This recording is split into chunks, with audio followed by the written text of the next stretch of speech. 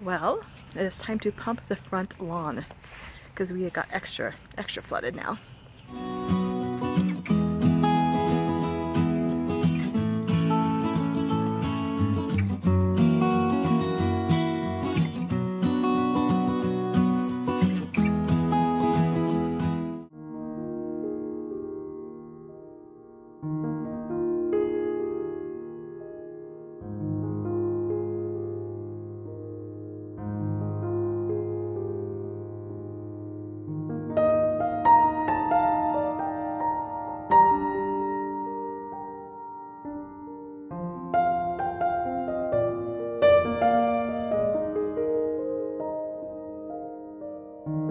So we got the pump plugged in and hooked up to the hose.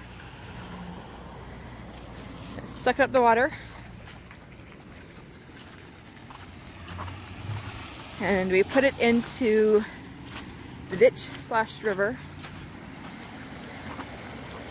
You can tell that the hose head down there is just flinging out the water. Hopefully this will help unplug or unflood our front yard. Here's the pump that we got. It's an Ace Hardware brand. And it uses the normal garden hose.